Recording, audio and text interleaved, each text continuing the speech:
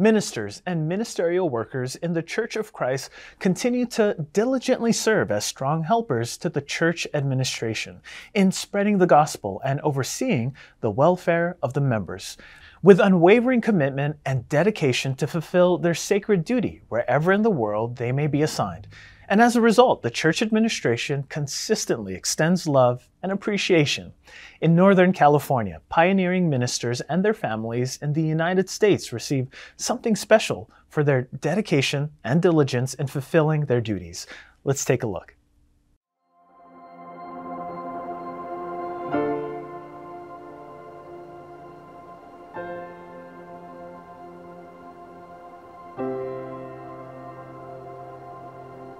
Brother Isalino C. Santos. I have been a minister for 64 years now. Brother Ruben A. Garcia. I entered the ministry in 1965. I was a volunteer worker when I entered the ministry. Because I started as a regular worker. That was June 10, 1966. Kapatid na Manuel B. Santos, January 1972 nang ako'y pumasok sa ministeryo. Brother Efren Aquino Takmo. I started ministry in 1973. I've been in the ministry for 50 years. Kapatid na Dominador Santos, sa pagsisimula ng SFM na tinatawag ngayon, na noon ay EVCO, Pinalusong ako ng kapatid na Eranio Manalo upang mag-aral sa ating paaralan. Brother Edgardo Manangkil, 49 years in the ministry with the help of God. Brother Ulysses M. Jukutan.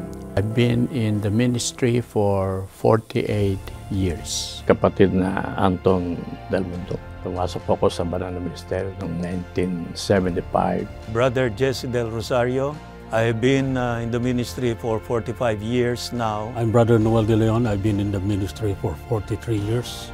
I was ordained in 1980. Brother uh, Mariano Nukop. I've been ordained since 1981. That should be 42 years.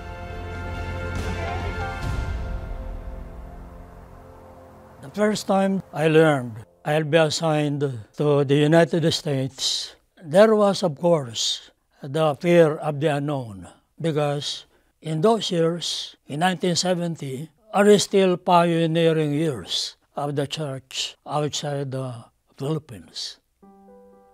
Nagkaroon ako ng katuwaan sapagkat mapupunta sa abroad na yun ay natural na damdamin ng isang ministro pagka sinabi mapupunta sa iba yung dagat. At the same time, naroon ang pangamba paano ko makapag-a-adjust lalo pangat kapos na kapos tayo sa katangian bilang ministro na madidistino dito sa ibayong dagat.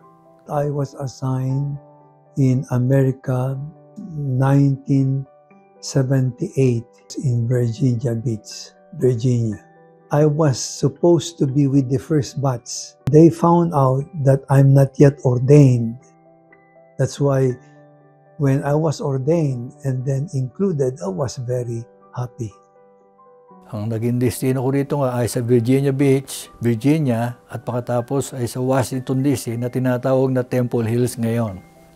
Makaraan ng isang taon at higit, higit dito ay bumalik ako sa Pilipinas. At uh, akin namang kinuha ang aking pamilya. Noong 1986, sabi ng KRD, kailangan mahanap na tayo ng auditor na, uh, na mag-aasikaso doon. Tapos sabi ni Cardi, alam mo na John kung sino yung padadala natin. Eh, sino po? Yung kapatid mo. When I arrived in Reno, it seems that uh, Reno is not even uh, a new place for me because I came from uh, Benguet Mountain Provinces. Portland, Oregon was my first local congregation.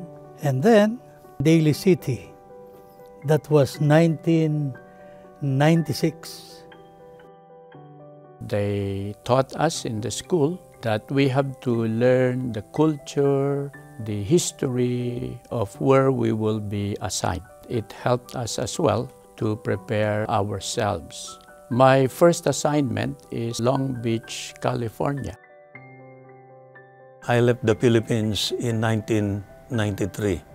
I would be assigned in Philadelphia, in the East Coast.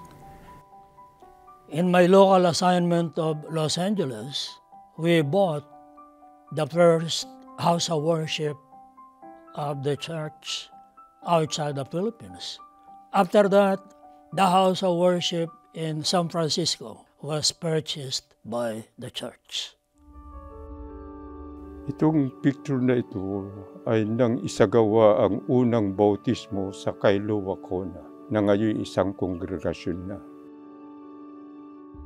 One of the challenges I can say is gathering the brethren. It was still pioneering work.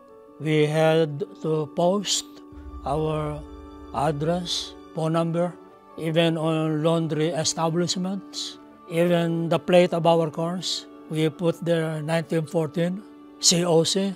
So just in case the brethren see that, they honk. We found the brethren so many different ways. My fear was about uh, the culture, the language, because our work is to preach the gospel. And I was praying, of course, that uh, they would understand me. My first assignment was in Houston, Texas, and it's a culture shock indeed. They look down at that time, 1985, when it comes to people that are of different colors. The culture is totally different. We have these apprehensions, have second thoughts, but the message of Brother Iranio to all of us, he said, I will not be able to see you anymore, and uh, you will be away from your families. But one thing that you will not be far away from, and that is our Father. We are just a prayer away from Him.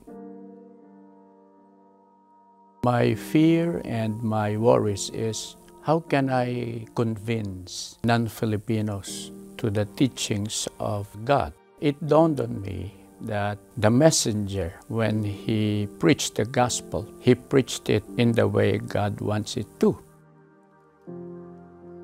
Sa pagiging ministro sa Jacksonville, Florida, ay mayroon tumawag sa akin na pastor na ang kanyang pinangangasiwaang denominasyon ay protestante. Tina-challenge ako sa uh, debate. Ano ito aking relihiyon, tinataguyod. Ang nangyari, nung ako'y makita, eh parang pipitsugin ang tingin sa akin. Hindi rin siya pumapatol sa hindi mahusay, ah, hindi professional na debater. Kumbaga sa ano ay minemenos ang ministro na kakaharapin niya. Nagkaroon kami ng debate doon. Napahiya siya doon sa pagkakataong iyon. Sabi ko sa kanya, eh, gusto mong tulungan kitang hanapin yung talatang binabas. Gusto mo basahin? Nagkaipit-ipit siya sa mga tanong na aking itinatanong sa kanya. Gumagalang na siya sa akin nung, pag, nung pagkakataon na yon. That uh, loneliness, uh, being away from my family is uh, a big challenge. As I look back in my ministry, what motivates me to overcome all the challenges is that it has always been proven what is written in Romans 8 28 To those who love God, everything worketh for good. And in my 54 years in my ministry, it has been proven many times. Dito sa Amerika, mga extreme conditions din dito ay dinadaanan ng mga ministro. Totoong napakapanganib na maglakbay pagka meron tinatawag na snowstorm. Sa pagdadrive pa lamang, ay hindi mo na halos makita ang daan dahil sa snow. Pare-pareho lang na puti ang dadaanan. Hindi mo alam kung yung dadaanan mo ay balo na.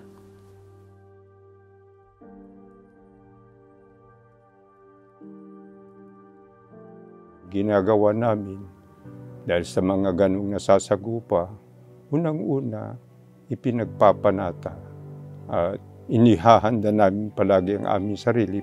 We uh, prayed to our Almighty God to give us that courage in order for us to fulfill our divine obligation. Sumasampalataya at uh, totoong nananalig ang isang ministro na ang Diyos ang magiging kasama maging sa napakapanganib na paglalakbay. Lahat ng pagsubok kaya natin. Buong kababaang loob na tanggapin.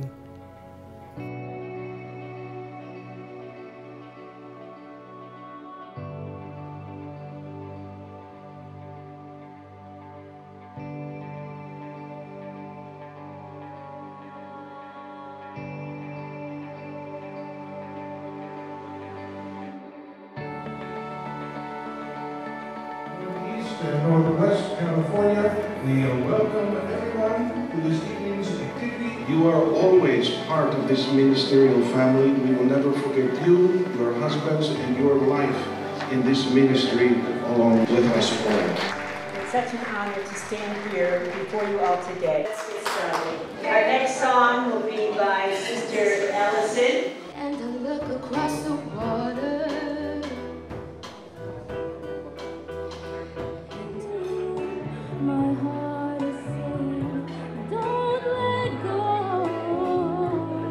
Tonight was a special recognition for uh, the ministers. This event was so inspiring, especially for those retired ministers and the, the widows of uh, ministers who have already uh, passed away, and e- even pioneering trailblazers from the very early times.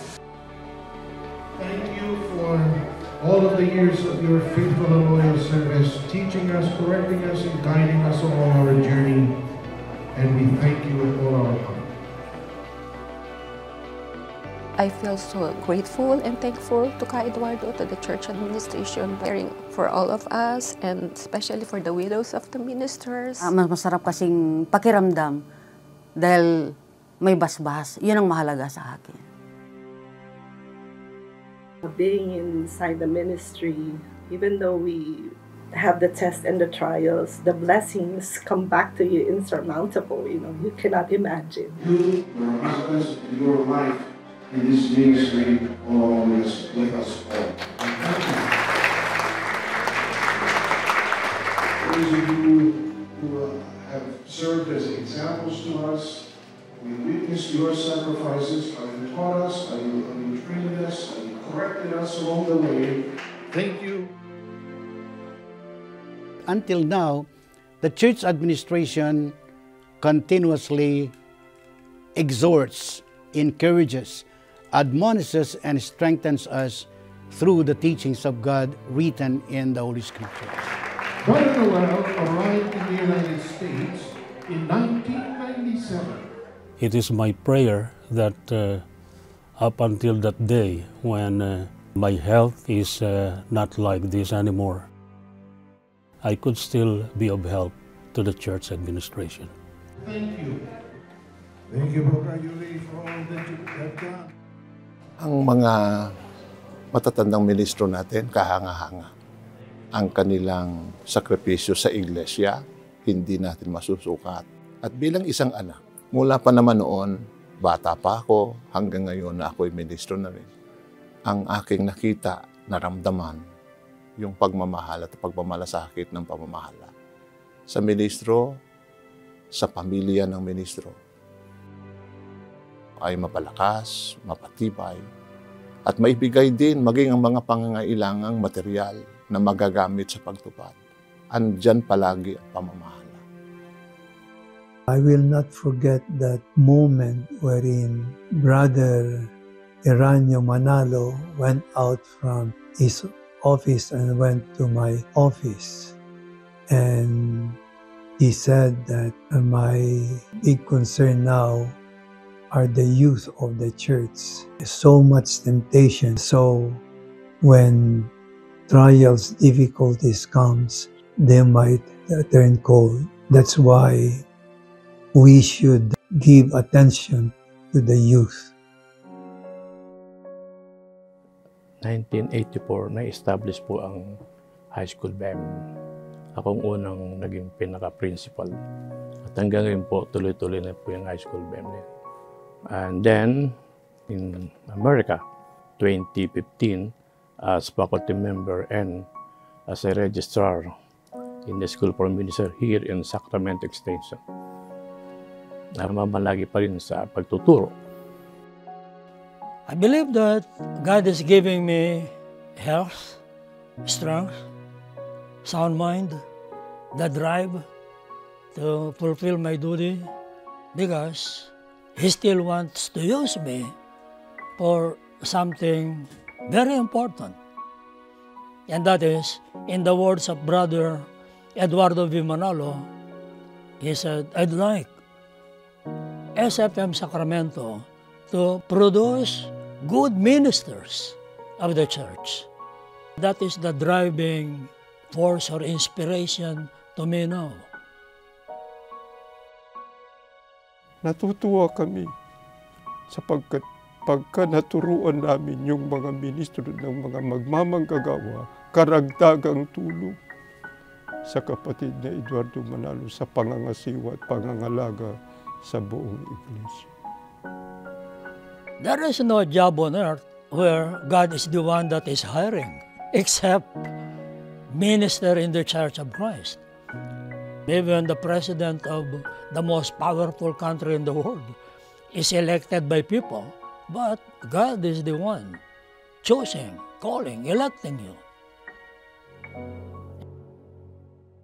Ang importante, masipag, matapat sa pamamahala, at lahat ng ipinagkatiwala ay gawin kung ano ang nararapat upang sa ganon ang tulong ng Diyos ay makakamit para sa tagumpay, para makapanatili sa tungkulin sa loob ng ministeryo. We have God with us. That's what we we hold on to steadfastly. The church administration always tells us your salvation hinges on only just you are being an Iglesia Ni Cristo member. Our salvation hinges on our being ministers until the end. God is our benefit in the ministry because God said, I am your inheritance. You need to keep going to hold on to the duties that God has given to us until we finish our race. I'm waiting for my salvation, making it to heaven. That's what motivates me to keep holding on. For one thing, my life is something where God proved to me how He cares for me.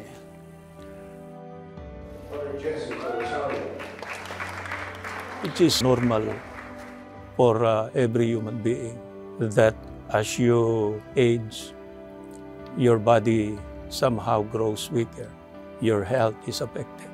But I'm so grateful to God up to now because somehow I'm still able to help our executive minister, Brother Eduardo B. Manalo. And I always say to myself that I will do it until my last breath.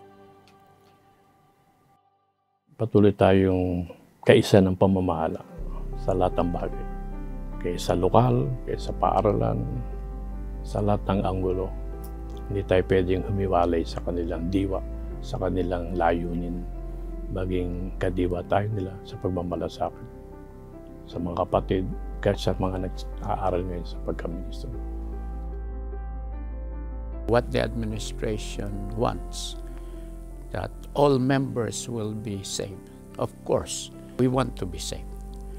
We don't want that the labors of the administration, our labors and sacrifices will uh, end up in vain or nothing. May it be that with God's help, me and my family, together with the administration, will receive salvation come the day of judgment. itong appreciation o itong pagkilala sa mga retirado, mga pioneer na mga ministro. Napakalaking bagay.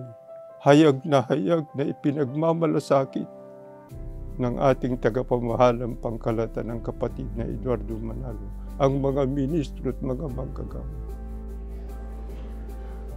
Ordained in 1977, Brother Ruben Garcia Aboy was ordained in 1980.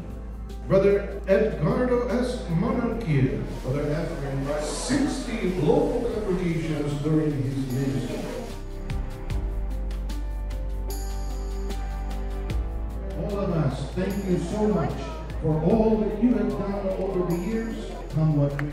We admire you and we will never forget you. The work that they have done has not been forgotten. It was a further solidifying of that compassionate intent of the church administration, and that intent was received that they are loved and cared for by Brother Eduardo V. Manalo, the church administrator today.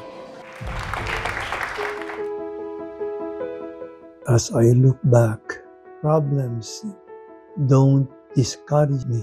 The most challenging experience, God turned it out to be the biggest blessing. Yung isipan namin na kung ano yung pinagagawa matapos namin, tapusin na may katapatan, tapusin na may merong layunin sa kalwalatian ng Diyos, sa kalwalatian ng Iglesia, at yun ang aming isipan. Ang aking panata gabi-gabi at ako'y nagpapapahid na lang is, pagalingin ako ng Diyos sa karamdaman para makatulong sa pamamahala, para maitaguyod ang Iglesia. Papasalamat din ako na ang aking dalawang anak ay naging mga ministro. Biniyayaan ang aking dalawang anak na maging mga tagapangasiwa na isang napakadakilang kaloob ng Panginoon Diyos. Masasabi ko na nasa huling yugto na nga ako ng aking ministeryo. Sa aking pagkakasakit ay akin pa rin sinisikap na kahit sa pangasiwa ng pagsamba ay makatulong ako sa iglesia, sa pamamahala upang ang mga inirang, ang mga kapatid ay maging masigla sa paglilikod at pagsamba sa Panginoon Diyos. Sa nalalabing panahon ko, hanggang sa ako'y papagpahingahin.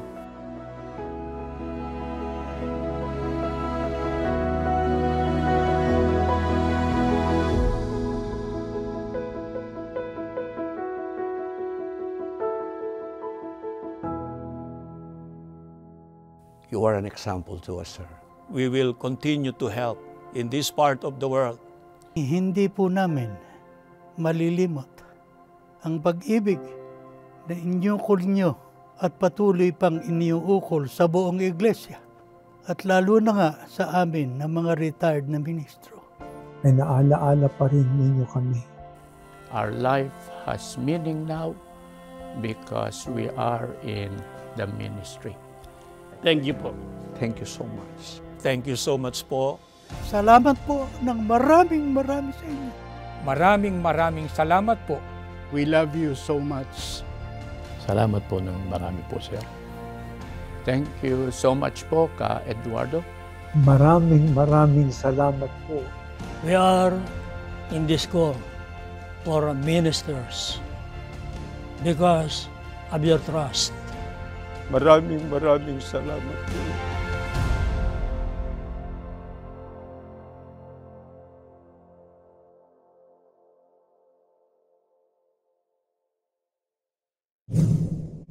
Well, that does it for us on INC News World. Tune in every Sunday for new episodes on INC TV and every Saturday on incmedia.org, our YouTube channel, and on streaming platforms. I'm Richie Ferreira. Thank you for joining us. Stay safe, and we'll see you next time. God bless.